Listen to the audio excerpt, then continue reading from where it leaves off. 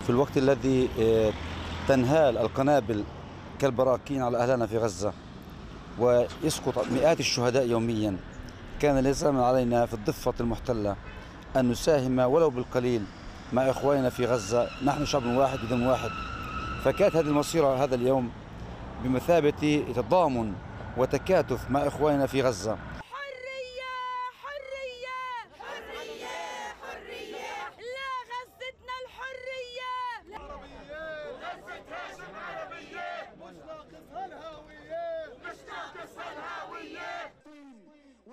تصد وترد عن حياضها الغول